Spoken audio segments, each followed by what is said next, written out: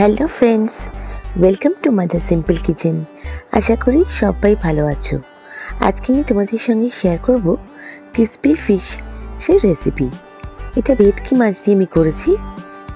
আর এটা খুবই ইজিলি কীভাবে তোমরা পারফেক্ট রেস্টুরেন্টের মতন ক্রিসপি ফিশ বানিয়ে নেবে, সেটাই আজকে তোমাদের আমি দেখাচ্ছি।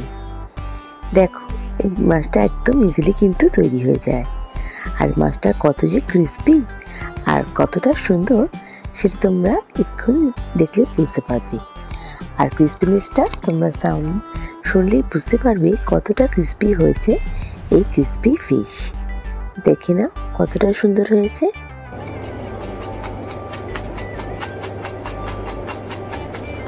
এর জন্য আমার দরকার এখানে ভেটকি মাছ নিয়েছি আমি পাঁচশো গ্রামের মতন।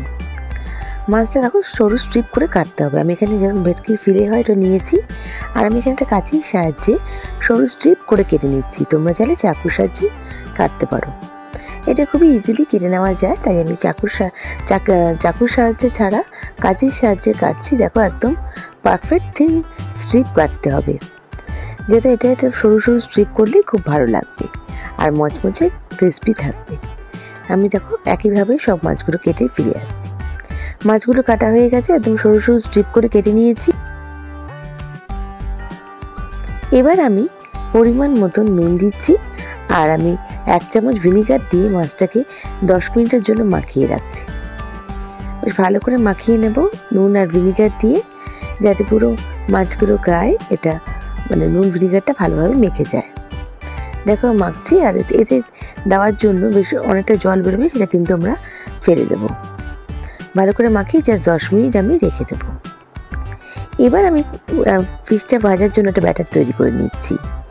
এখানে আমি অ্যাড করছি তিন চামচ মতন ময়দা আর এখানে আমি অ্যাড করব দু টেবিল স্পুন কর্নফ্লাওয়ার দিয়ে আর আমি এখানে অ্যাড করছি হাফ টিস্পুন মতন বেকিং পাউডার এখানে আমি বেকিং পাউডারটাই অ্যাড করছি। দেখো দিয়ে ভালো করে আমাকে মিক্স করতে হবে। আর এখানে আমি অ্যাড করছি রসুনের গুঁড়ো। হলদি পাউডার আমি এখানে অ্যাড করছি। জিঞ্জার দিচ্ছি না এখানে এক চামচ মতন। আর এখানে দিচ্ছি আমি অনিয়ন পাউডার এক চামচ মতন ব্ল্যাক পেপার পাউডার এক চামচ মতন। আর এখানে নুন স্বাদ অনুযায়ী দিয়ে একটু মিশিয়ে নিয়ে হালকা করে। আর এখানে আমি অ্যাড করব চিলি পাউডার চিলি পাউডারে তোমরা যেরকম ঝাল খাবে সেরকমই অ্যাড করো। আমি এখানে এক চামচ মতন চিলি পাউডার অ্যাড করছি।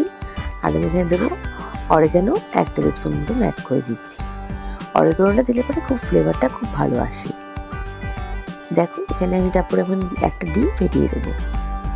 ডিমটা দিয়ে একটু হালকা করে মিক্স করে নিতে হবে। তারপরে আমি এখানে অ্যাড করছি যেটা চিল্ড ওয়াটার চিল্ড ওয়াটার দিলে পরে ক্রিসপিনেসটা খুব সুন্দর এবং ভালো হবে। চিল্ড ওয়াটারটা একবারে দেবো না। আমি কিছু অল্প অল্প করে মিক্স করব আর ব্যাটারটাকে ভালো করে ফেটিয়ে নেব। যাতে কোনো লাম্পস না থেকে যায়। দেখো একটু করে দিচ্ছি, তারপর যেরকম ব্যাটারের কনসিস্টেন্সি যেরকম হয় সেরকম করব আমি। এখন আর একটু জল লাগবে, দেখেই তোমরা বুঝতে পারছ, তোমরা দেখে ব্যাটারটা কীরকম করেছি সেটা বুঝে নাও। দেখো, ভালো করে মিক্স করে নিচ্ছি, নিয়ে আবার আমি, আবার একটু জল দিচ্ছি। জলটা আমি পরিমাণ মতন দিচ্ছি, আর বেশি প্রথমেই দেবে না, তাহলে পাতলা হয়ে গেলে ভালো লাগবে না, আর ক্রিস্পিটা কিন্তু হবে না। এবার ভালো করে ফেটিয়ে নিচ্ছি আমি। দিয়ে দেখো, ভালো করে বেশ মিশিয়ে নিলাম। এরপর আমাকে মাছগুলো দিতে হবে কিন্তু। ব্যাটাটা দিয়ে বেশিক্ষণ রাখার দরকার নেই, যেহেতু আমি এখানে বেকিং পাউডার যেহেতু অ্যাড করেছি, খুব বেশিক্ষণ এখানে রাখা যাবে না। এবার দেখো, আর এবার আমি যে ক্রিসপিনেস বাড়ানোর জন্য এক চামচ তেল অ্যাড করে দিলাম। তেলটা দিয়ে নাড়িয়ে ভালো করে এবার আমি মাছগুলোকে অ্যাড করে দিচ্ছি। মাছগুলোকে অ্যাড করে ভালো করে কোট করে দিতে হবে, যাতে মাছের গায়ে ভালোভাবে ব্যাটারটা লেগে যায়।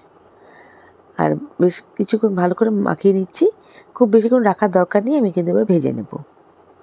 দেখো, মাছগুলো ভালোভাবেই কোটিং করে নিয়েছি। এবার কড়াইতে আমি সাদা তেল দিয়েছি। তোমরা চাইলে মাস্টার্ড অয়েলও ভাজতে পারো। বেশ ভালো করে গরম করে এবার মিডিয়াম ফ্লেম করে নিয়েছি। নিয়ে আমি মাছের স্ট্রিপগুলোকে দিয়ে দিচ্ছি। বেশ আলাদা করে দেবে আর হালকা করে উল্টে পাল্টে নিচ্ছি। যখন এটা কালারটা হালকা চেঞ্জ হচ্ছে, তখন আমি কিন্তু আঁচটাকে একটু বাড়িয়ে দিচ্ছি। দিয়ে ভালো করে ভেজে নিচ্ছি যাতে ক্রিসপিনেসটা ভালোভাবে আসে। দেখো, এখানে আমি তুলে নিচ্ছি। বেশ তুলে আমি কিছুক্ষণ দিয়ে এখানে ঢেলে দিচ্ছি। আবার সেকেন্ড ব্যাচটা আমি ভেজে নিয়েছি। একইভাবে আমি প্রত্যেকটা মাছ আমি ভেজে অ্যাড করে দিচ্ছি। দেখো, সব মাছগুলো কিন্তু আমার প্রায় ভাজা হয়ে গেছে। আমি এখানে সব অ্যাড করে দিচ্ছি। আর লাস্ট ব্যাচটা আমি ভেজেও আমি দিয়ে দেবো। দেখো লাস্ট ব্যাচটাকেও ভাজছি। একইভাবে কিন্তু প্রত্যেকটা মাছ আমি ভেজে নিয়েছি। নিয়ে অ্যাড করেছি। এটা কিন্তু খুব ক্রিস্পি হয়েছে আর কতটা ক্রিস্পি হয়েছে তোমরা নিজেরাই কিন্তু শুনে নাও। খুব দারুণ ক্রিস্পি হয়েছে, একদম মচমচে। আর এটা বেশ অনেকক্ষণ রেখে দিলেও কিন্তু খুব একটা ডিফারেন্স হবে না, তবে তাড়াতাড়ি খেলেই কিন্তু ভালো লাগবে দেখেছ? আওয়াজটা পেয়ে তোমরা বুঝতে পেরেছ কতটা ক্রিস্পি হয়েছে? আমার রান্নার রেসিপিটা রেডি আমার রেসিপিটা ভালো লাগলে প্লিজ লাইক করে সাবস্ক্রাইব করে আমার পাশে থেকে যেও। আর নেক্সট রেসিপি নিয়ে আমি আবার হাজির হয়ে যাব। তোমরা সবাই ভালো থেকো, সুস্থ থেকো। বাই